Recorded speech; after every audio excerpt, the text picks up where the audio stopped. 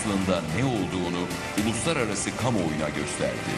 Türkiye fotoğrafı görmek isteyen varsa uluslararası medyaya rağmen görmek isteyen varsa fotoğraf burada. Hadi bakalım BBC bunu da gizle. CNN bunu da gizle. devlete maliyeti şu an itibariyle 100 trilyonu aşmış vaziyette.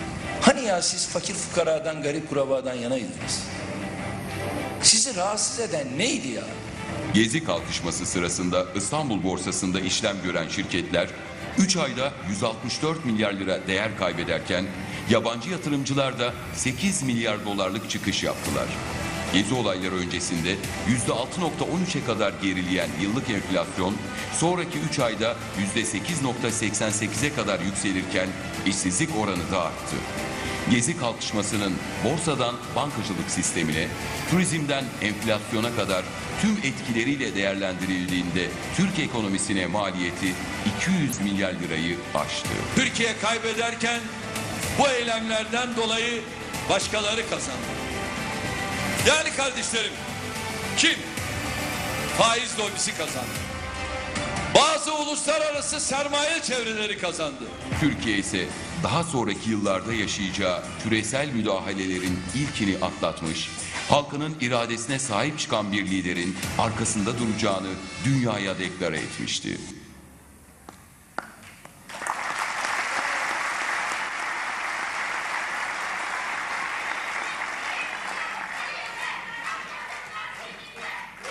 Değerli kardeşlerim,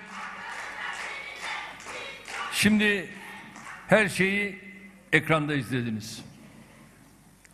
Bu bir hafıza tazelemesi. Gezi olayları aslında tıpkı askeri darbeler, tıpkı muhtıralar, tıpkı terör örgütlerinin saldırıları, tıpkı FETÖ'nün 17-25 Aralık ve 15 Temmuz darbe girişimleri gibi devleti ve milleti hedef alan alçak bir saldırıdır. Bay Kemal bunu zannediyorum dünkü konuşmasıydı. Aydınlık gençler diye vasıflandırıyor. Bunlar başta şahsı olmak üzere aldatılmış gençler. Ve bu aldatılmış gençlere orada çevreci sıfatı verilmek suretiyle bu ülkede milyonlarca ağaç fidan diken bir iktidara ağaç sökme yaftası yakıştıranlara ben sadece lanet okurum. Ta belediye başkanlığımızdan itibaren biz İstanbul'u yetişmiş ağaçlarla bezedik. Refüjlerden tutunuz bütün o yol kenarlarına varıncaya kadar onlarla elhamdülillah İstanbul'u biz yeşillendirdik.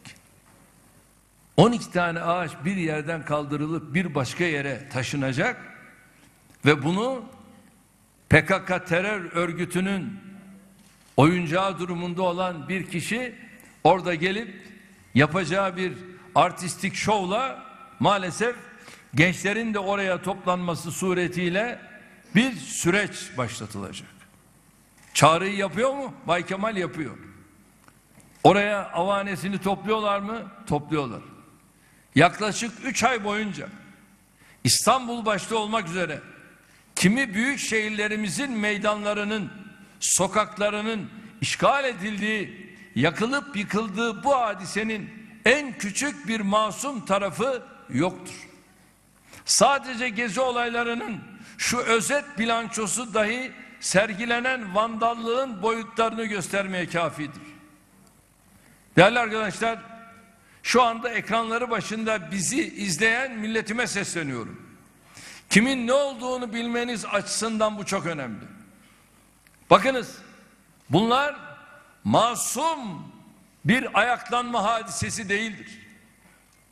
Bunlar ciddi manada perde arkasında Soros türü bazı ülkeleri ayaklandırmak suretiyle oraları karıştıran tipler vardır. Onun da Türkiye ayağı malum içerideydi. Ve bir manevrayla dün onu beraat ettirmeye kalktılar. Onlarla beraber başkaları da bu işin içerisinde. Bütün bu olaylar boyunca 46 kamu binası ile 231 polis aracı ve 44 ambulans kullanılamaz hale getirilmiştir. Vatandaşlarımıza ait 326 iş yeri, 201 araç tahrip edilmiş, yağmalanmıştır. Kamu hizmetinde kullanılan 80 belediye otobüsü ve 85 otobüs durağı yakılmıştır. Tüm bu maddi zararların da ötesinde 697 güvenlik görevlimiz yaralanmış ve bir polisimiz de şehit olmuştur. Gezi olaylarının Türkiye'ye doğrudan maliyeti 1,4 milyar dolar iken dolaylı maliyeti ise yüzlerce milyar doları bulmuştur. Faizler ilk defa gezi olaylarıyla tırmanmaya başlamış 4,6'dan 13 küsüre ulaşmıştır. Bunların sayesinde. İşsizliğin çift taneye çıkması da enflasyonun zıplaması da aynı dönemde gerçekleşmiştir. Başbakanım, Dolmabahçe'deki çalışma ofisim ne yazık ki işgale yeltenmek suretiyle çatılara tırmanmaya kalkmışlar. Dozerlerle, roderlerle evet bütün Dolmabahçe'deki ofisimizin önü Bezmi Valide Sultan Camii'nden Beşiktaş'a doğru oralarda kanallar açılmıştır. Tıpkı Güneydoğu'daki o kanal açan teröristler gibi bunlar da aynını İstanbul'un göbeğinde Beşiktaş'ta Bezmi Alem Valide Sultan Camii'nden Beşiktaş istikametinde orada yapmışlardır. Ne var orada? Orada Başbakanlık ofisimiz, Dolmabahçe Sarayı ve onun bitişiğinde de bizim ofisimiz. Ve biz de orada çalışıyoruz. Bunlar yapıldı. Kim bunlar? Aydınlık gençler. Sevsinler senin aydınlık gençlerini. Bunlar tamamıyla sayenizde aldatılmış gençler. Ya siz değil misiniz? Bu ülkede yıllarca terörist olarak tescil edilmiş olanların posterlerini Atatürk Kültür Merkezi'nin duvarlarına göğsüne asanlar siz değil misiniz? Hani Atatürkçüydünüz? Adı Atatürk Kültür Merkezi olan AKM'nin Taksim'e bakan cephesinde bu posterleri görmedik mi? Bu posterleri, bu teröristlerin posterlerini oraya kimler astı? Taksim meydanındaki anıta bu posterleri kimler gerdi? Kimler astı? Bay Kemal işte senin takımın bunları yaptı.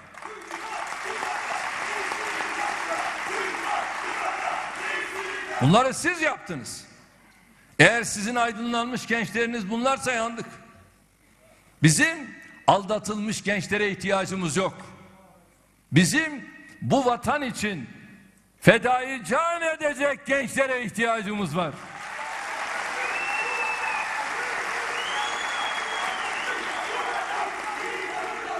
Bu olayları bitirmek için öne sürülen talepleri hatırlıyorsunuz değil mi?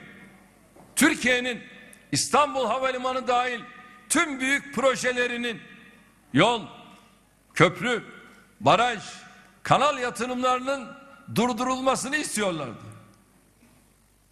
Yabancı medya örneği görülmedik şekilde bu olayları aylarca canlı yayınlamıştır. Tamamı yalan olan nice haber, gezi olaylarını destekleyen medya organlarında fütursuzca dolaşıma sokulmuştur. Bu süreçte Taksim Meydanı'nda boy gösterenlere baktığımızda işin gerisinde kimlerin olduğu hiçbir şüpheye mal vermeyecek şekilde anlaşılmaktadır. Her kim bu olayları masum bir çevre hareketi olarak tanımlıyorsa ya gafildir ya da taammüden bu ülkenin ve milletin düşmanıdır. Toplumumuzu bölmeye amaçlayan gezi olaylarını ülkemize yönelik her saldırı gibi milletimizle omuz omuza vererek elhamdülillah bitirdik. Gezide başaramadıklarını 17-25 Aralık Emniyet yargı girişimiyle denediler. Milletimizle birlikte biz bu tuzağı da bozduk. Bu defa çukur eylemleriyle doğrudan ülkemizin topraklarını bölmeye çalıştılar. Bu tezgahda güvenlik güçlerimizin kahramanca mücadelesiyle teröristleri açtıkları çukura gömerek akamete uğrattık.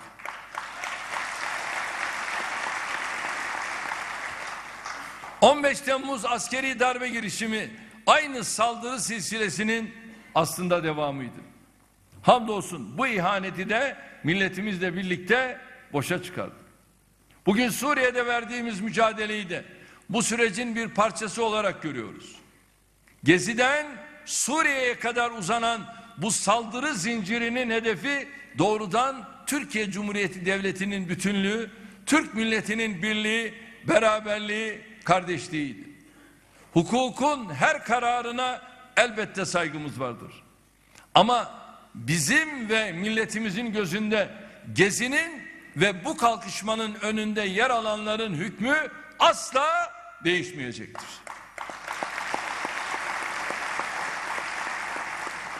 Milletimiz müsterih olsun. Ülkemizin her davası gibi bu meseleyi de sonuna kadar kararlılıkla takip edecek, adaletin tecellisi için son nefesimize kadar mücadeleyi sürdüreceğiz. Değerli kardeşlerim, son dönemde ülkemizi asıl gündeminden kopartarak zamanını ve enerjisini boş tartışmalarla harcatmaya yönelik kasıtlı bir kampanyayla karşı karşıyayız. Türkiye'nin ve Türk milletinin aleyhine olan her iş gibi bu kampanyanın da öncülüğünü yine kim yapıyor? Cumhuriyet Halk Partisi. Halbuki bizim gündemimizde bölgemizdeki gelişmelerden ekonomiye kadar nice hayati mesele var. Sadece sınır güvenliğimiz değil, aynı zamanda 83 milyon vatandaşımızın her birinin evinde huzurla uyuyabilmesi bakımından kritik öneme sahip Suriye'de gerçekten destansı bir mücadele yürütüyoruz. Harekat bölgelerimize yönelik tacizlere en sert şekilde cevap veriyoruz. Şayet bu bölgelerde muhatap ülkeler Türkiye'nin güvenlik kaygılarını karşılayamazsa kendi başımızın çaresine bakmak zorunda kalacağımızı her fırsatta açıkça kendilerine söyledik, söylüyoruz. İdlib'de rejimin saldırganlığını sona erdirip Soçi muhtırası sınırlarına çekilmesi için son günlere giriyoruz. Artık son ikazlarımızı yapıyoruz.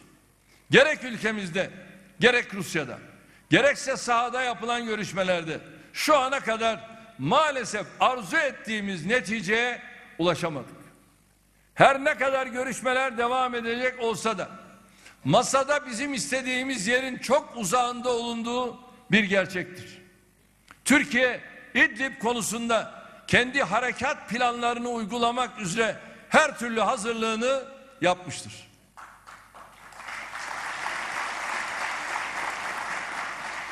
Her operasyonda olduğu gibi bu konuda da bir gece ansızın gelebiliriz diyoruz.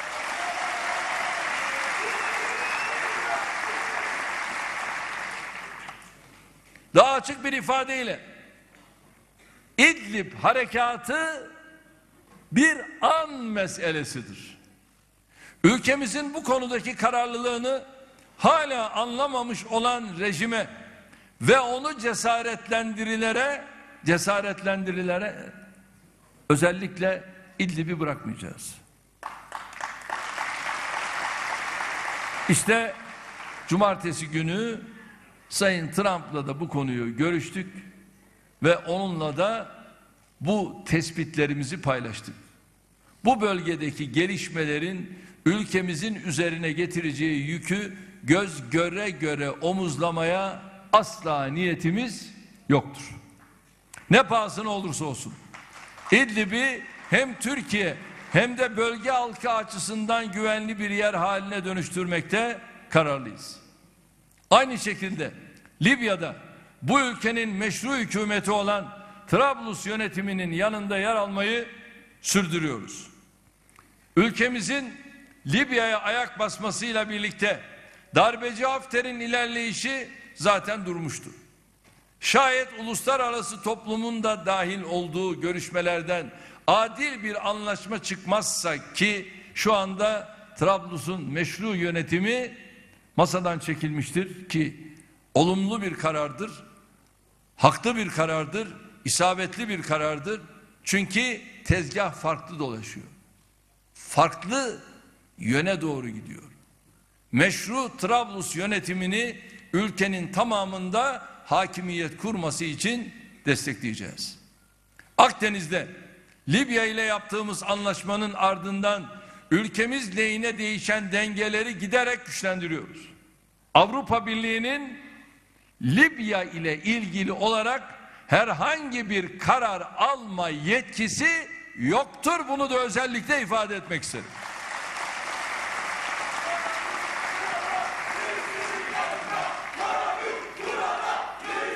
Avrupa Birliği durumdan vazife çıkarmanın gayreti içerisindedir. Oradan da kendine bir vazife çıkarıyor. Neye göre? Bu yetkiyi nereden alıyorsun? Böyle bir yetkin yok. Ne kara ne deniz. Türkiye'nin konumu farklı.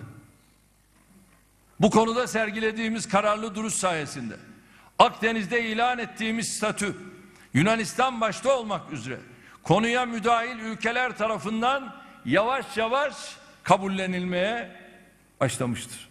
Öte yandan Amerika Birleşik Devletleri Başkanı Sayın Trump ile 100 milyar dolarlık ticaret hacmine ulaşma hedefimizi ülkelerimiz arasındaki diğer sorunlardan ayrı tutma kararına vardık.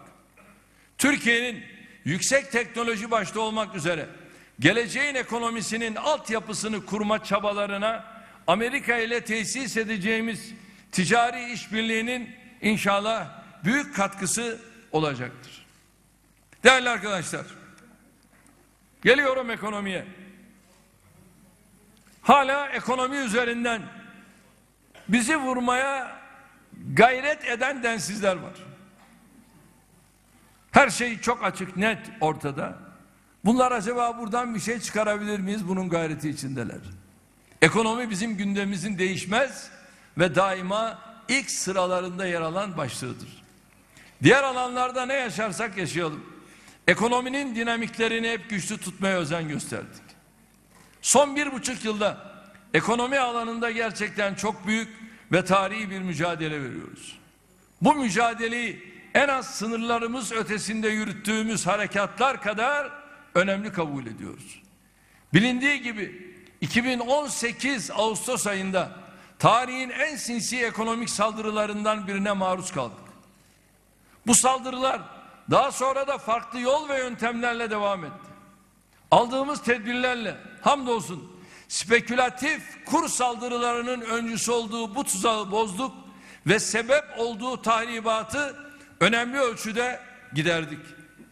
Ekonomik göstergelerde Ağustos 2018 dönemi öncesini yakaladık. Hatta pek çok alanda daha iyiye gittik. Bizi kur faiz enflasyon şeytan üçgenine hapsederek teslim almaya çalışanları bir kez daha hüsrana uğrattık.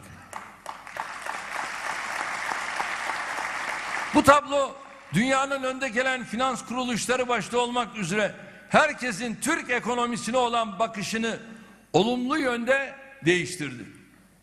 Ülkemizle ilgili büyüme tahminleri sürekli olarak yukarı yönde revize ediliyor. Enflasyonu ve faizleri düşürme konusundaki kararlılığımızı mevcut uygulamaları geliştirerek ve gerektiğinde yeni tedbirleri devreye sokarak sürdürüyoruz. Merkez Bankası yüzde 24'e kadar çıkan politika faizini nereye düşürdü? Yüzde 11 virgül 25 seviyesine kadar indirdi. Bu Ağustos 2018'in bile gerisinde bir seviyedir. Bir dönem yüzde kırkların telaffuz edildiği piyasa faizleri bugünlerde yüzde sekiz on civarında. Piyasa faizleri bakımından Mayıs 2013 yani gezi olayları dönemi seviyesinin dahi gerisine ulaşmış durumdayız. Ey geziciler bunu iyi öğrenin. Ekonomide sağlanan güven ortamı, özel sektör yanında kamu borçlanma maliyetlerini de fevkalade düşürmüştür. Önceki hafta yapılan kamu borçlanma ihalesinde son yıllardaki en düşük maliyetli ihraçlar gerçekleştirildi. Dolar tahvillerinin tamamını avro cinsi yükümlülüğe dönüştürerek maliyetleri daha da azalttık. Ocak ayında ekonomi güven endeksi ve reel kesim güven endeksi artarken büyümenin önemli göstergelerinden olan satın alma yöneticileri endeksi uzunca bir aradan sonra yeniden 50 eşik değerinin üzerine çıktı.